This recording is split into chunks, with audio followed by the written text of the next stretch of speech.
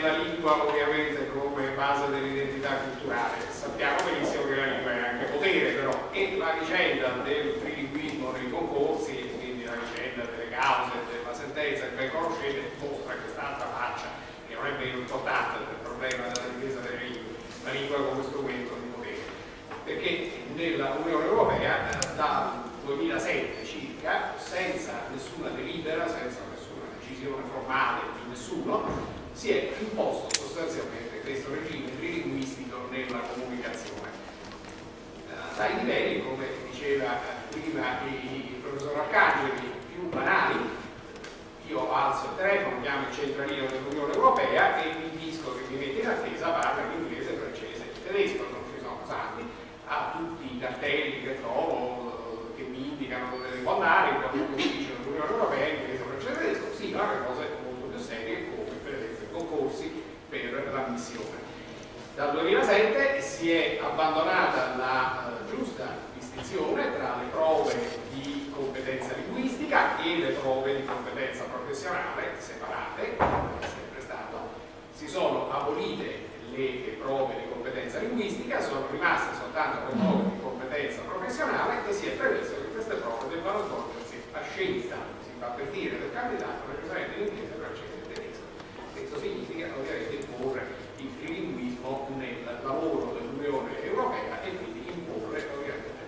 gli interessi dei paesi che si esprimono in queste lingue. Ripeto, tutto questo non è tanto il dato in sé, ma eh, il modo come a questo dato si è pervenuti, senza nessuna decisione formale, perché c'è sempre un regolamento, che è il primo regolamento eh, adottato dall'Unione Europea al suo nascere, il regolamento numero 1 del 1958, che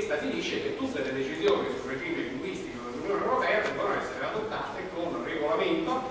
del Consiglio all'unanimità. Ora, anche dopo il Trattato di Lisbona, la regola dell'unanimità in materia linguistica è rimasta. E quindi si è aggirata di fatto questa regola introducendo senza nessuna eh, misura formale, perché l'unanimità si sapeva bene che non sarebbe mai raggiunta, questo trilinguismo di fatto. E noi stiamo cercando di contrastare. Importante la sentenza soprattutto per un punto, perché eh, la difesa diciamo, della Commissione, che è il braccio armato diciamo, degli interessi eh, che stanno dietro il trilinguismo, eh, era ma non c'entra niente i cittadini europei, il diritto fondamentale al multilinguismo riconosciuto dalla Carta eh, dei diritti eh, europea e dallo stesso Trattato dell'Unione Europea, Qui si parla di assumere del personale per lavorare in uffici, quindi è un problema interno, un problema amministrativo, organizzativo. Come abbiamo sempre replicato, momento un bando di concorso è qualcosa che si rivolge a tutti i cittadini europei perché è una modalità di esercizio del loro diritto fondamentale, qual è il diritto al lavoro e il diritto al lavoro nelle istituzioni pubbliche dell'Unione Europea, quindi anche il diritto alla partecipazione, quindi il diritto democratico fondamentale al funzionamento delle istituzioni europee. Se vogliamo una cittadinanza europea dobbiamo essere inclusivi, tutti gli europei devono poter eh, potenzialmente appunto, entrare a lavorare nell'Unione Europea, questo non è solo lavoro in senso brutalmente economico, questo è innanzitutto proprio partecipazione democratica, quindi fondazione reale di un'Unione Europea veramente dei cittadini e non degli stati o delle robe. Quindi, abbiamo detto, questa è una delle forme più delicate di comunicazione, quindi c'è una comunicazione che deve avvenire in tutte le lingue questa e su questo la sentenza è stata molto chiara e è stata molto chiara anche sulla eh, conseguenza ha detto in questo modo la selezione linguistica eh, viene ad essere determinante della selezione professionale non saranno selezionati i migliori saranno selezionati quelli che parlano meglio l'inglese, il francese e il tedesco quindi avremo dei perfetti cretini che fanno delle cretinate immense, però parlando meraviglioso inglese, francese e tedesco, che non avremo la possibilità di avvalerci di competenze validissime che però si esprimono in altre lingue. Il problema ovviamente della comunicazione operativa all'interno degli uffici dell'Unione Europea esiste, un problema innegabile, non siamo mai partiti dall'applicazione di questo problema, ma è un problema che si deve risolvere con altri sistemi che sono ben noti a tutti, non certo con una barriera linguistica all'ingresso. La cosa significativa eh, però, di cui vi volevo informare, perché appunto è una notizia che, che forse ancora non è circolata e qui concludo perché non posso abusare del tempo, già lo so passato tutti e devo anche scappare, è che la Commissione europea, dopo aver incassato la nota sentenza, non se n'è data minimamente per intesa, perché nella gazzetta ufficiale del 20 dicembre e poi in una successiva sono comparsi dei nuovi bandi di concorso in cui il trilinguismo è stato perfettamente confermato, questa volta aggiungendo la motivazione, perché la Commissione europea, che la furba, interpreta la sentenza semplicemente come una sentenza che abbia censurato il difetto di motivazione della scelta limitata alle tre lingue delle prove professionali, laddove, come avete visto, leggendo la sentenza, c'era tutta una critica appunto alla base istituzionale che è totalmente manchevole di questa scelta di linguistica, non è solo un problema di motivazione dell'atto amministrativo base hanno aggiunto una motivazione scritta addirittura in neretto, c'è persino questa volgarità proprio di evidenziarla scrivendola in neretto nel bando per far vedere, vedete, la motivazione adesso c'è. La motivazione dice bisogna parlare inglese, francese e tedesco perché queste sono le lingue più usate all'interno degli uffici e quindi siccome abbiamo l'esigenza operativa di avere personale subito in grado di lavorare deve essere personale che parla solo inglese, francese e tedesco perché se deve passare attraverso un training che uso volutamente una parola in inglese a questo punto per mostrare che non abbiamo confusione linguistico e allora si perde tempo questi non possono subito diventare operativi. E questa sarebbe la motivazione per confermare il linguismo questo è il fatto di questi giorni. Naturalmente stiamo preparando i nuovi ricorsi e, e, e continuiamo consideriamo di vincere perché questa volta veramente la toppa è peggio del fumo la cosa importante è che prodotta questo comportamento offensivo che ha assunto la Commissione, quasi proprio direbbero in Inghilterra, che ci richiama il content of school, il disprezzo della Corte, perché la Corte giusti ha fatto una sentenza che più chiara non potrebbe essere, questi ti prendono in giro con la motivazione in diritto che dice quello che vi ho appena detto. Stiamo associando all'azione giudiziaria, quindi ai nuovi ricorsi che partono adesso, un'azione anche politica. Il nostro ambasciatore presso l'Unione Europea è già notato con gli uffici della Commissione e sta inoltrando le sue proteste. Perché di nuovo anche questo fatto è avvenuto senza nessuna preparazione, un quel giorno sulla gazzetta ufficiale, senza che prima ci fosse stata nessuna consultazione degli stati, nessuna trasparenza, assolutamente è uscita questa bando con la motivazione in diritto. E quindi stiamo protestando, stiamo preannunciando che eh, faremo questi ricorsi, ma vogliamo anche associare questa volta all'azione veramente giudiziaria un'azione di tipo politico, speriamo che stiamo preparando il terreno per il nuovo governo, qualunque colore esso sia, non crediamo che non possa eh, rimanere insensibile cercheremo di porre proprio a livello di Consiglio europeo, a livello politico, finalmente questa tematica del eh, trilinguismo del lavoro presso le istituzioni europee che ci sembra fondamentale. Quindi forse questa sarà l'occasione per uscire anche dal canale giudiziario, perché poi il canale giudiziario è importante perché dà fermate principi, le grandi sentenze, tutto quello che volete, ma poi come vedete alla fine il boccino è sempre in mano alla Commissione e quindi avuta la tendenza la Commissione gira intorno e, e, e l'atto concretamente e, diciamo efficace è quello della Commissione infatti faremo annullare questi bandi, cercheremo questa volta anche di farli sospendere, stiamo studiando delle misure urgenti proprio per dare fastidio, eccetera, però la via giudiziaria alla fine eh, ha dei, limiti, come sempre la via giudiziaria, quello che occorre è finalmente una presa di coscienza politica da parte italiana soprattutto. Abbiamo incassato anche l'appoggio di altri stati, soprattutto la Spagna si è molto interessata dopo la sentenza a questa vicenda, credo che anche la Spagna questa volta farà il ricorso insieme con noi e quindi questo forse ci incoraggia a pensare ad un'azione, poi ripeto, volta che da noi pure la situazione politica sia in qualche modo chiarita possa finalmente iniziare perché certamente non saremo più ecco quindi in questo modo non possiamo, non possiamo veramente più andare avanti. C'è stato un passo avanti notevole con quella sentenza però appunto abbiamo vinto una battaglia ma guerra come vedete è ancora lunga perché gli interessi che stanno dietro il linguismo adesso non, li dobbiamo raccontare qui sono evidenti e sono, e sono pesantissimi, quindi sarà tutta una, una pagina ancora ampiamente da scrivere, magari più calma, dovremmo anche vedere in qualche altra occasione per aggiornamenti successivi, perché è tutta una storia che sta qui che va avanti, avanti ad episodi, adesso c'è questo nuovo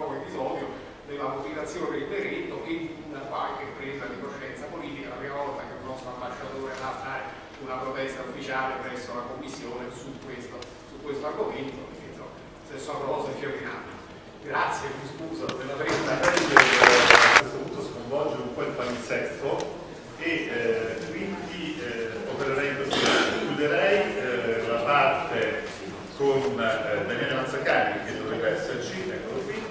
eh, il tesoro e democrazia, poi l'intervento di Federico Viglia che vedo alla mia sinistra e così ci siamo,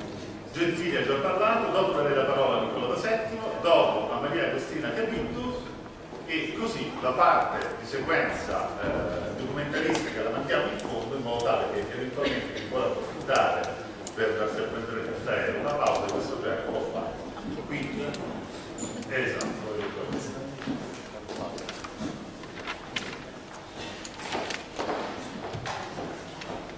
Daniele.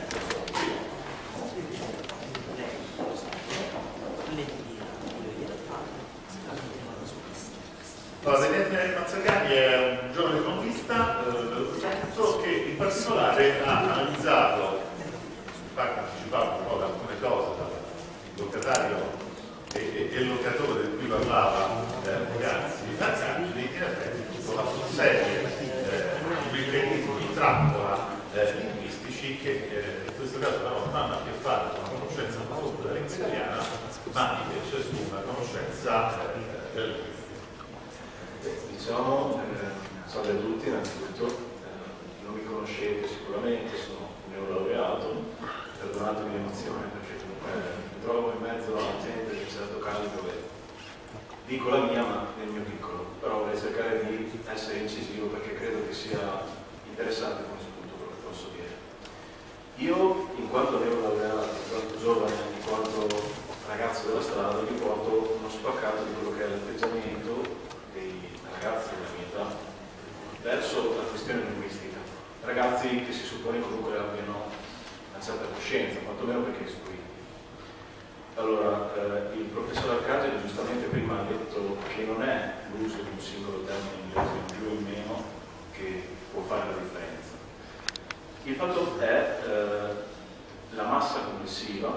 dei termini inglesi che stiamo usando e soprattutto da dove arriva questa? Qual è la posizione del parlante in questa situazione? Di, eh, diciamo, qui finora si è parlato di una sostituzione secca e diretta dell'inglese all'italiano. C'è però anche un altro tipo di colonialismo, erosione linguistica, come la vogliamo chiamare, che è l'uso progressivo e crescente di termini inglesi nella lingua italiana, ma eh, non fine a se stesso, ma uso di termini inglesi che hanno un portato percepito come di innovazione, un portato di eh, contenuto superiore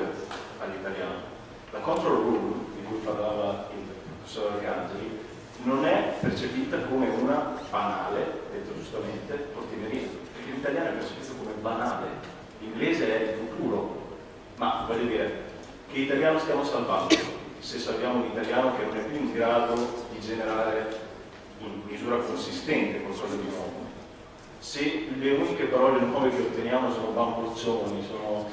parole che vanno bene per la cronaca rosa, per pettegolezzi non voglio dire rossi, eh, ma non abbiamo un italiano incisivo, potente, tecnico, eh, un italiano che si sappia affermare come lingua, come stanno provando con tutte le difficoltà del caso a fare lingue come il francese, come lo spagnolo. Io sono un ex Erasmus, sono stato in Spagna e l'ho visto per i miei occhi, pur nella mia soggettività. Per farlo breve, eh, i giovani, mi mh, permetto di affermare, tendono a dividersi in questo campo in anglo-entusiasti e anglo-esclusi. Eh, questo è l'uso dell'inglesorum, questo è il nome che abbiamo voluto dare a questo tipo di infiltrazione della lingua inglese nell'italiano, crea una discriminazione, una discriminazione ed è un attentato in un certo senso alla democrazia linguistica, perché eh, lo stesso caso di locatario, eh, locatario, locatore si poteva verificare con spending review. Mm, si crea eh, una sorta di differenziazione tra chi queste parole, questi innesti li può capire e chi no. e chi non li può capire rimane escluso e non solo rimane escluso, ma dice accidenti, sono rimasto escluso, sono indietro. Allora via a inserirmi anch'io, corsi in inglese, imparo l'inglese, nuovi concetti entrano solo in inglese. L'italiano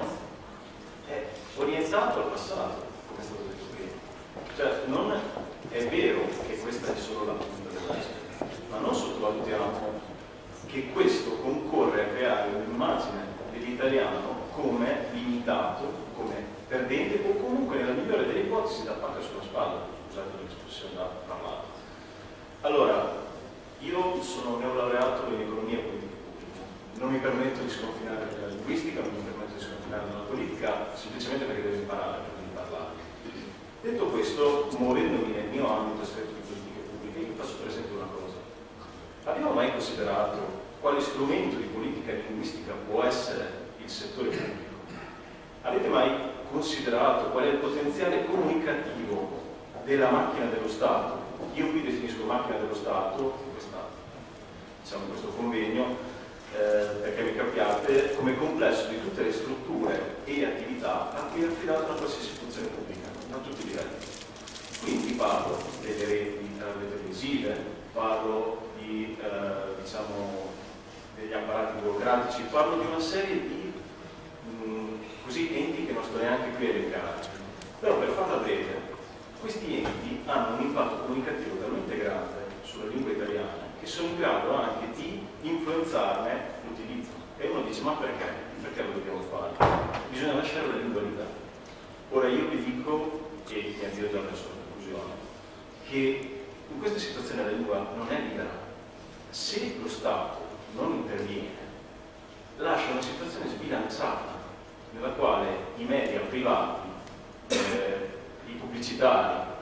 decidono in parte le sorti della lingua, perché non mi si venga a dire che quando io sento un termine inglese che non conosco ma che mi viene ripetuto, bombardato, messo da tutte le parti, fiori, fiorellini, eh, fulmini, modernità, io alla fine lo acquisisco. Ora io non voglio dire che uno debba combattere sulle singole parole,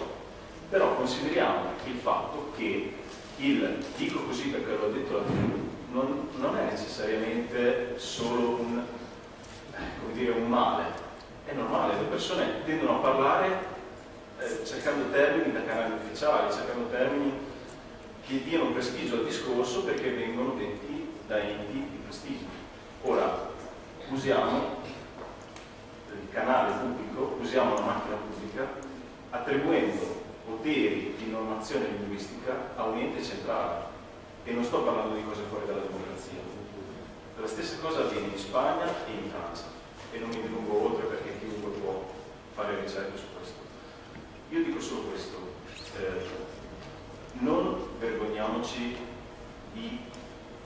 togliere la maschera e dire sì, lo Stato si impegna anche sul fronte linguistico, sì, lo Stato fa proposte, sì, lo Stato agisce per tutelare ma anche per promuovere e sviluppare la lingua italiana. Non sottovalutiamo la potenza di questo mezzo. Vi ringrazio per l'attenzione.